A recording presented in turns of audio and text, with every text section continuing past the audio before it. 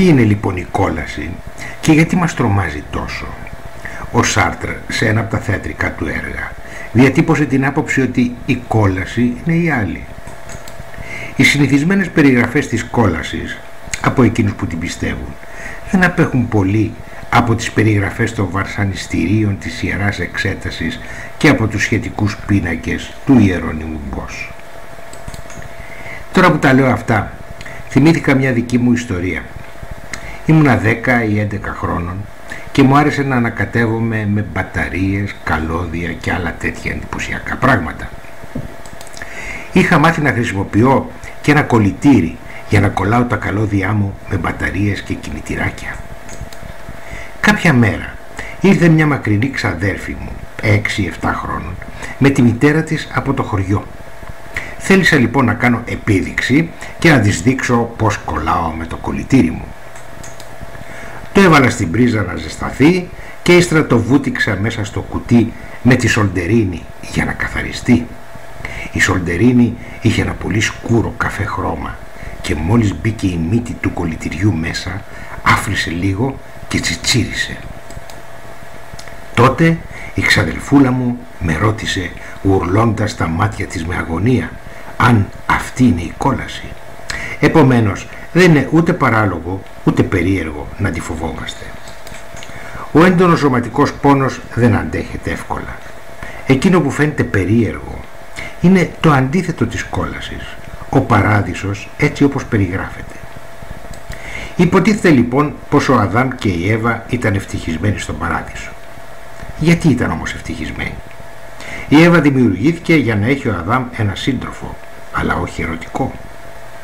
Τα γεννητικά τους όργανα τα είχαν βέβαια από πριν, γιατί ο Θεός ήξερε ότι κάποια στιγμή θα έτρωγαν το μήλο και έτσι θα μάθαιναν πώς να τα χρησιμοποιούν και θα ντρέπονταν και από πάνω γι' αυτό.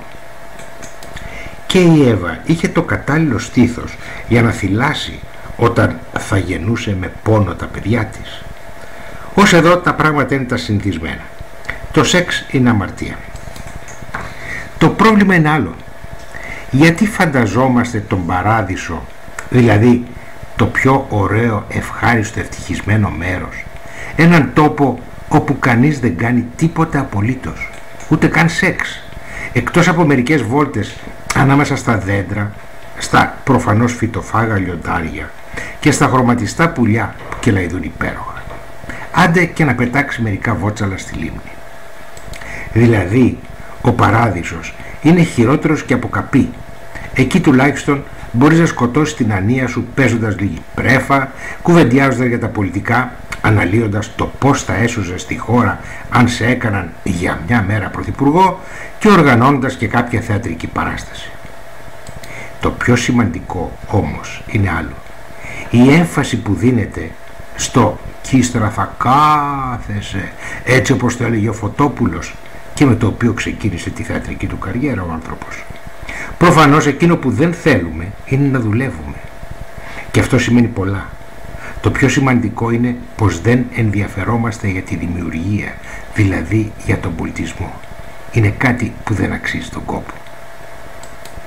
Φαντάζομαι πως θα με ρωτήσετε πού μου κατέβηκαν τώρα ξαφνικά αυτοί οι προβληματισμοί.